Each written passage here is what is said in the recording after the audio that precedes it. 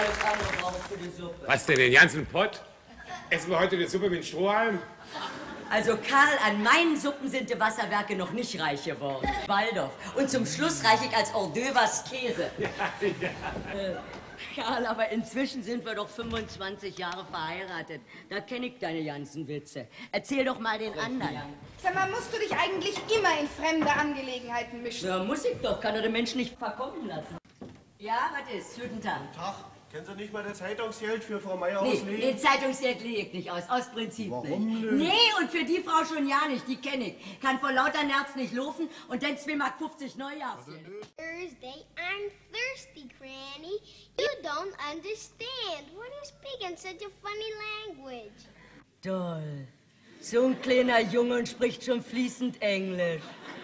Och, Jotte, nee. Mein Enkel, was?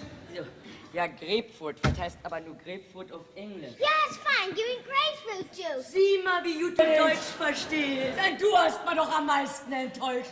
Du, mit dir hat ich mal Großes vor, ganz was Großes. Na, und wo bist du denn nun da? Ganz unten bist du gelandet. Danke, Mutter. Herzlichen Dank. Ach, du bedankt doch bei dir selber, existierst ja ja nicht mehr. Inge ist ein selbstständiger Mensch, aber wir, wir sind deine Geschöpfe. Jawohl, seid ihr. Aus euch hab ich was gemacht. Inge ist bloß eine Kellnerin, aber euch hab ich doch alle Wege geebnet. Jetzt habe ich aber auch genug von deinem Theater. Was? Was hast du da eben gesagt zu?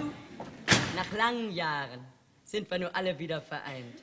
Ich weiß, ihr habt früher heimlich über eure Mutter geschimpft. Aber Mutter. Ich weiß. Ich war euch oft unbequem, weil ich euch so getriezt habe. Habe ich aber ja nicht von mir getan.